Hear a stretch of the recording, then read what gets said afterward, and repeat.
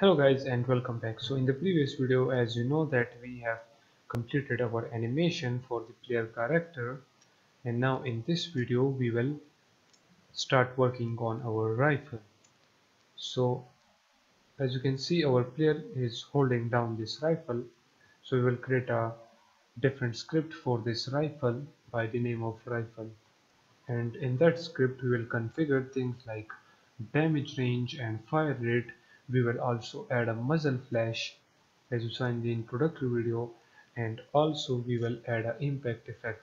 For example if we hit the enemy then we want to show the blood effect and if we hit the drone we want to show that sparkle effect okay? So with this done right here in the scripts folder we will create another script by the name of rifle and open up this player game object. Then inside this body we have this Tommy gun mesh. And we will simply drag and drop that script there.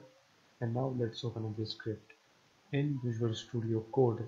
Right here we don't need this start function.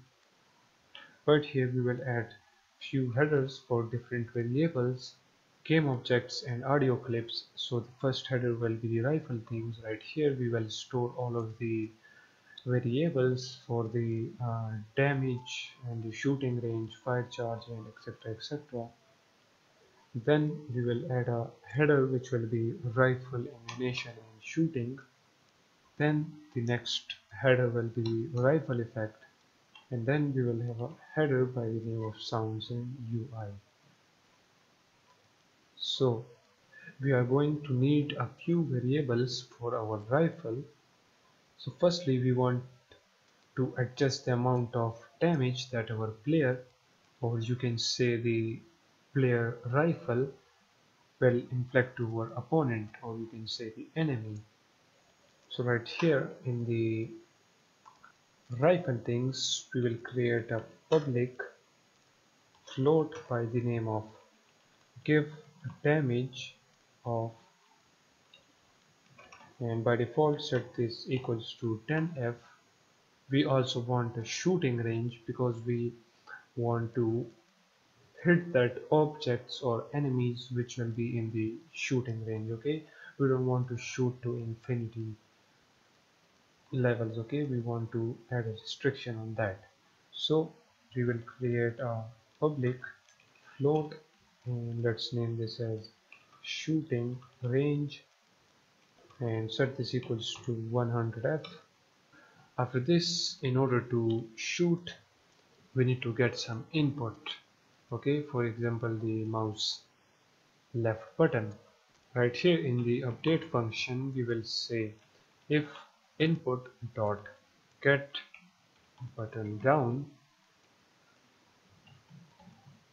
and that button is the fire 1 and if you remember this fire 1 is the default button set by Unity. This button is attached to the left mouse button okay? So unless you change this it is going to be the left mouse button. So after this let's open up some curly brackets and in here we will type all of the shooting code. But as you know if you type all of the shooting code in the update function then the code will be just inappropriate and some of you guys might not understand. So for that we are going to create a different function for shooting and we will name that function as shoot. Now let's just copy this and after this update we will say void shoot and in here we will put all of our shooting code. And as I told you in order to shoot we will use the raycast so let me just comment this out and in unity right here as you can see we have this main camera right here behind the player on the left side. So what we will do we will be shooting out a raycast and that raycast will be invisible starting from this main camera and then in the forward direction in which the player is facing. As you can see he is facing that side so it will create a raycast in this forward direction. And we will restrict that raycast to the shooting range okay 100 and if the raycast hits something which is inside this shooting range then we want to show that object name. For example if we hit this vehicle then we want to show the vehicle name and if we hit the enemy we want to show that enemy name.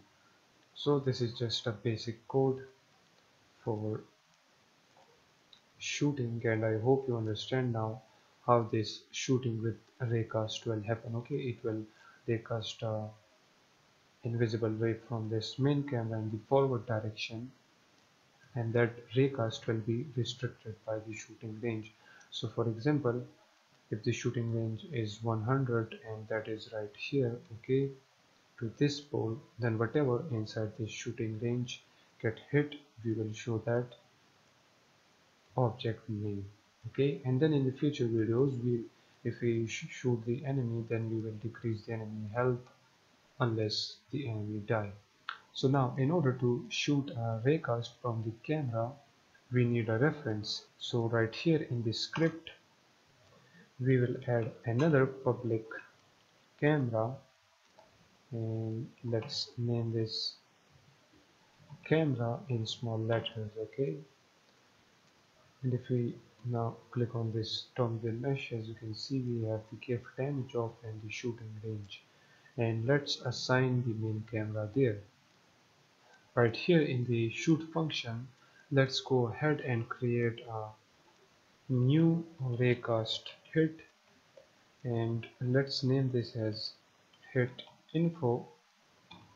And inside this hit info variable. We will store all of the information about what we hit.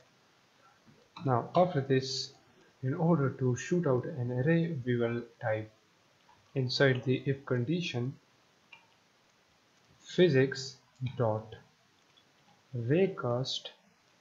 And we want to create an invisible ray from our main camera and this raycast need four parameters so the first one will be the camera. So we will say camera dot transform dot position and then we want to raycast an invisible array in the forward direction. So we will say camera dot transform dot forward and after this we want to know that what we hit. So we will say out hit info and then we will restrict it the raycast by the shooting range. Okay? So now whatever we hit inside the shooting range will be stored inside this hit info. And then this hit info will tell us what we shot so this if condition will only occur if we simply hit something okay? And for now let's just simply display what we hit. So for that we will type debug dot log hit info okay? And we will get the transform of whatever we hit and then we will get the name of that object okay? And we will just simply debug or you can say print that out in our console. So now let's save this get back to unity. Let me remove that and as you can see we have the camera and everything assigned. Let's simply play the game and now let's just shoot on this vehicle. Okay so now if we try to shoot as you can see it is printing out right here that we hit a truck. Okay now we hit this ground. As you can see it is simply raycasting an invisible array in the forward direction. So for example now if we face here and try to shoot. As you can see it shows that object 71 now 31 now let's hit uh, this length okay we need to lock our cursor okay. Let's shoot this one as you can see now. It is showing all of the objects name as you can see. We are now shooting the factory and all of that. And now you know how this raycast will work okay so in this video we have added our shooting. Now in the next video we want to lock the cursor and adding a crosshair to our game. So catch you guys in the next video